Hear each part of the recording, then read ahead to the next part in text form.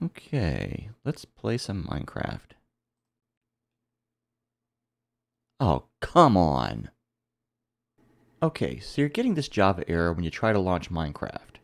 So why is this happening, and what can you do about it? In a recent update of the Minecraft launcher, a bug was introduced, making the launcher very, very strict about what Java version Minecraft will launch with. Or maybe it's not interpreting the Java version correctly. Who knows? But anyway, if, like me, you installed Java 16 back when Mojang announced that Java 16 or later would be required for Minecraft starting with 1.17, and have been running even previous versions of Minecraft with it, because they run perfectly fine, you've probably gotten this error. You'll get it with Java 17 or alternate Java builds too. There's a bug filed for it, We'll see what Mojang does with it, but as of this video's posting, when I looked it wasn't assigned yet to a developer. So what do we do about it in the meantime? Do we use Minecraft's old bundled version of Java? Heck no. There's a simple and quick workaround. Basically, you find the java check jar file and either delete it or rename it. I renamed it myself, and now Minecraft launches just fine with Java 16.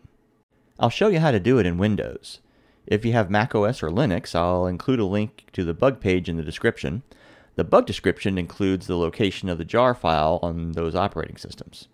First, you go to your C drive in the Program Files x86, Minecraft Launcher, Game folders. In there, you'll find several files, including the Java check jar file. On my computer, I can see the .jar extension because I have those turned on, which I recommend, especially if you want to rename the file like I did. There's a checkbox for file name extensions on the View ribbon. Next, you'll right-click on the JavaCheck file and click Rename, then rename it. I just added .disable to the end of it, which effectively changes the extension and makes it not a jar file anymore. But if I want to, I can switch it back. Hit enter to commit the change and you'll be prompted whether you really want to. Click yes.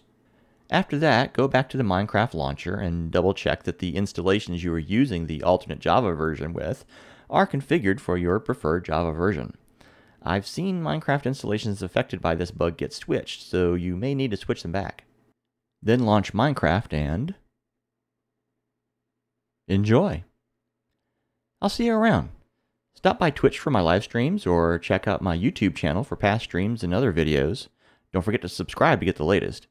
And stop by my Facebook page for reminders of upcoming events. Links are in the description. See you next time. Bye.